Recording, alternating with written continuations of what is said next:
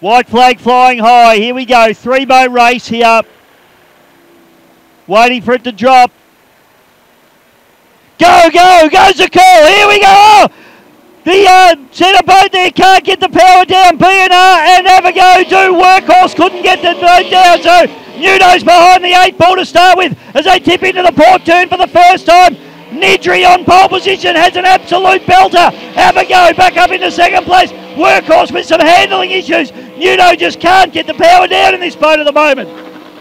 Up into the top turn, now we go. Brett Nidri in the B&R Racing engines firing down the front straight away. This boat has got a real lease of life here this weekend as he fires away down the front straight away. Nidri doing the job beautifully now as he tips it into the port turn, down turn number one for the second time. Avago. Charging hard into the bottom turn, Craig Storner. Doing a good job, but he hasn't quite got the pace to go with Nidri at the moment.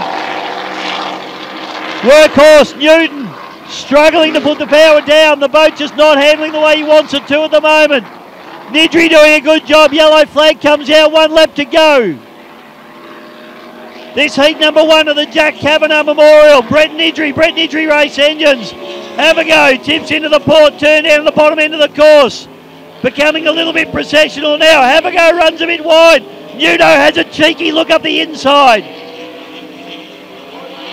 Newton trying to get the power down now. The boat looking a little bit more settled, but still swirling around under acceleration.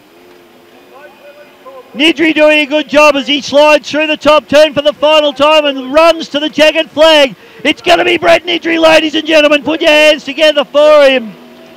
Brett Nidri takes a win in heat number one. Avago. Gets the job done with Craig Storner and Mickey Newton in the workhorse. Comes through into third place. Just couldn't get the power down on the uh, drop of the flag there. Unfortunate for him.